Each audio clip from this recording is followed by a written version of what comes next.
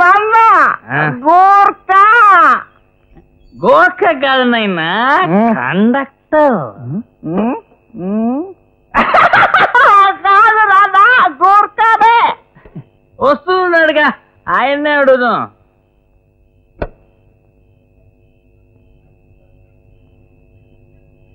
నువ్వు గోర్ఖానా కండక్టరా పోలీసులు రా ఫుల్లా? ఆ, అవును. ప్రకాశం మీద ఎక్కడా? ప్రకాశం మీద ఎక్కడ్రా?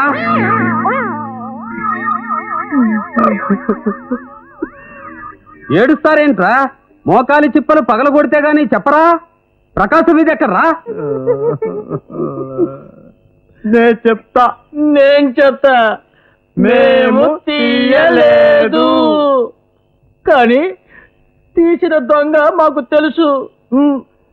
తెల్లారే లోపున ఆ దొంగని మేము తీసుకొచ్చి పోలీస్ స్టేషన్లో అప్పగించేస్తాం నిన్న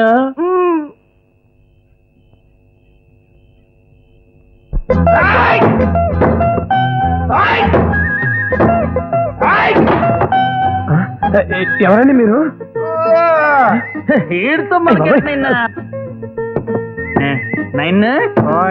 ఎంత పెద్ద హాల్లో ఒక్క కుర్చీ కూడా లేదు నిన్న. దొంగలింట్లో కుర్చీలు ఎలా ఉంటాయి మీరు? చెప్పండి పోడంకాయ్ ఆ ముసలోనే పిల్ల.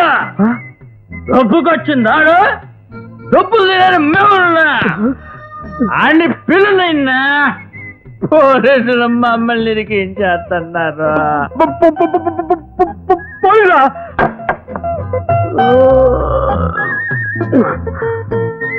ఆగండి. మీ బంధువులు వచ్చారు. వాళ్ళకేం కావాలో కనుక్కోండి!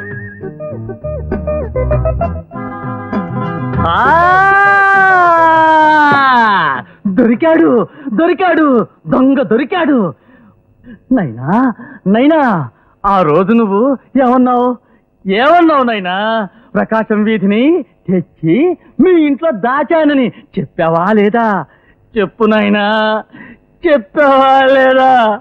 చెప్పాడు నాన్న. నేనే సాక్ష్యం.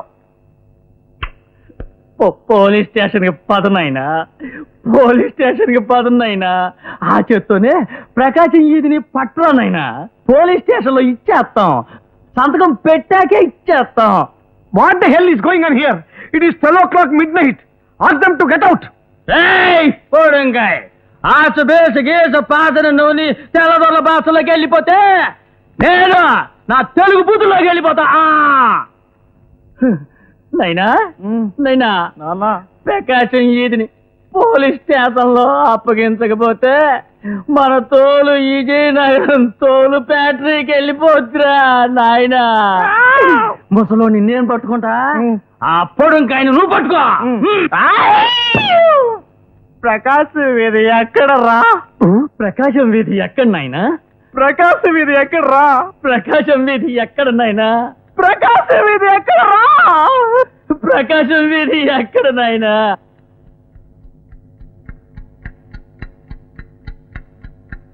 ప్రకాశం వీధి ఎక్కడ నాయనా? ప్రకాశ్ వీధి ఎక్కడ ప్రకాశం వీధి ఎక్కడ నాయనా? ప్రకాశ్ వీధి ఎక్కడ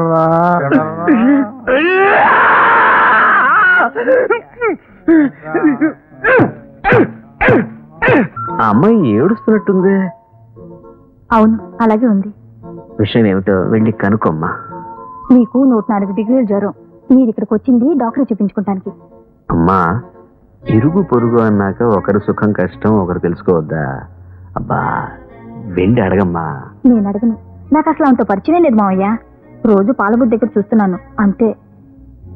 రోజు పాల బుద్ధికి వస్తుందా? మావయ్య లొడలొడ మాట్లాడుకున్న మావయ్య జ్వరం ఎక్కువ అవుతుంది పాల బుద్ధికి వస్తుంది కదా అది చాలు. తర్వాత ఎవరు?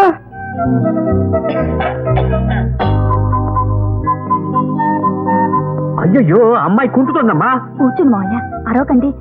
కుంటుతుందమ్మా? ఊరుకోండి మావయ్య. ఎందుకు కుడుతుంది అయ్యో. మీరు రండి.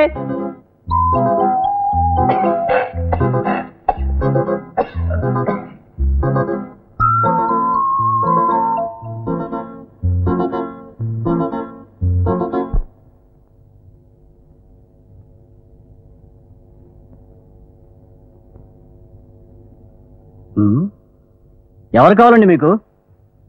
డాక్టర్ కావాలి. నేనే డాక్టర్. మీరేనా? అవునండి. డాక్టర్ శ్రీధర్. అవునండి నేనే. ఎండిఎఫ్ఆర్సిఎస్ అవునండి. పోస్టల్ ట్యూషన్ చదివారా? లండన్లో చదివానయ్యా. కూర్చో. ఒరిజినల్ లండనే? కూర్చో కూర్చో. ఏమిటి మీ అనారోగ్యం? పక్కనే మరో డాక్టర్ ఉందే. అవును ఆవిడ నా భార్య. ఆవిడ కూడా డాక్టరేగా? అవును ఆవిడ ఆడవాళ్ళకి డాక్టరు. పురుటి కేసులు చూస్తూ ఉంటుంది. ఇంతకీ నీ అనారోగ్యం ఏమిటయ్యా?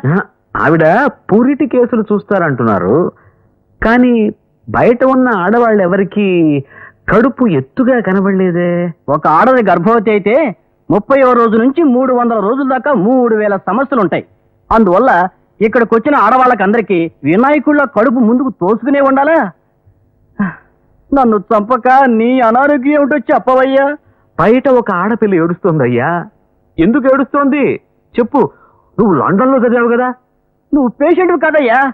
నాకు మొగుడివి. నన్ను పిచ్చాసుపత్రి పంపడానికే వచ్చావు. వెళ్ళవయ్యా. వెళ్ళు. నిదానమే ప్రధానం. రోగుల దగ్గర సహనంగా ఉండాలి. ఇదంతా నీకు లండన్లో నేర్పించలేదా?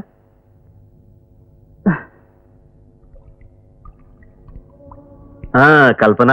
ఏంటి మావయ్య? ఇవాళ ఇంత తొందరగా లేచారు. మళ్ళీ ఏమైనా నొప్ప? చెప్పి వెళ్ళడానికే వచ్చానమ్మా. ఎక్కడికి? పాలబూత్కి? ఎన్నడూ లేంది ఇవాళ మీరు వెళ్ళటం ఏంటి? నేను పాలబూత్ చూసిందే లేదమ్మా. అయ్యయ్యో మీకు జ్వరం కదా? పాలబూత్ని చూస్తే జ్వరం ఎగిరిపోతుంది. మీకేమైనా మతిపోయిందా మతి నాకంటే ముందే పాలబూత్కి వెళ్ళిపోయింది. అది కాదు పాలబూత్కి వెళ్ళాలి. నీతో ఒక్క నిమిషం మాట్లాడాలి. అలా వస్తావా? లోకంలో మొత్తం ముగ్గురు నాన్నుంటారు ఒకటి పెదనాన్న రెండు చిన్నాన్న మూడోది కన్ననాన్న. అందులో నువ్వు నన్ను ఏ నాన్నగా భావించినా సరే ఇప్పుడు వస్తావా ఆ, టీవీలో రామాయణం చూసావు కదా? ఆ దేవత అయిన సీత కూడా అశోకవనంలో ఒక దారాసింగ్ కావాల్సి వచ్చాడు దారాసింగ్ అమ్మా ఆంజనేయుడు ఇప్పుడు నువ్వేం చేస్తావంటే నువ్వే ఆ సీతమ్మ అనుకో ఈ పాలభూతే అశోకవనం అనుకో. నేనే ఆ దారాసింగ్ అనుకో. దారాసింగ్ అమ్మా ఆంజనేయుడు నీ కష్టాలన్నీ చెప్పమ్మా. మిగతాది నేను చూసుకుంటా.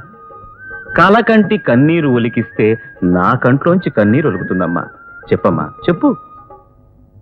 నాకు పెళ్ళైన రెండో రోజు నుంచి జరిగిందంతా చెప్తాను. చూడమ్మా హనీమూన్ అనేది భార్యాభర్తల జీవితంలో ఒకేసారి వస్తుంది. దాన్ని ఆపేంత దుర్మార్గురాలు కాదు నీ అత్త. అందుకే నువ్వు హనీమూన్ వెళ్ళటానికి అనుమతిస్తున్నాను. కానీ ఇంకా మీ నాన్న నాకు కట్నం డబ్బు నగలు ఇవ్వాలి. అవి నా చేతిలోకి వచ్చేంత వరకు నేను నిన్ను ఈ ఇంటి కోడలుగా స్వీకరించను లేను? ఈ ఇంటి వారసుణ్ణి నీ కడుపులో మోయటానికి అనుమతించను లేను?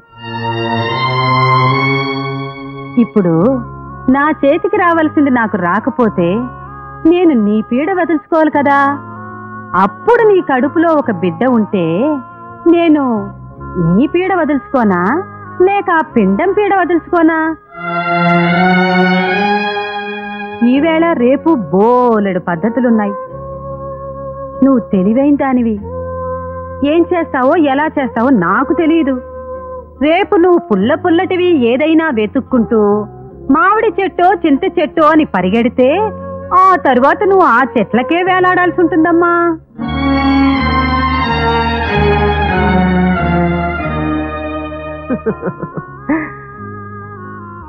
ఇప్పుడు నేను చెప్పినవన్నీ నీ మొగుడికి తలగడ మీద మంత్రోపదేశం చేయాలనుకుంటున్నావా? నా కొడుకుది ఊర్లు తిరిగే ఉద్యోగం. అంచేత నెలకు పది రోజులే నువ్వు వాడితో ఉంటావు. మిగిలిన ఇరవై రోజులు నువ్వు నాతోనే కాలక్షేపం చేయాలి. ఇదంతా మనసులో ఉంచుకొని సంతోషంగా హనుమూన్కి వెళ్ళరా.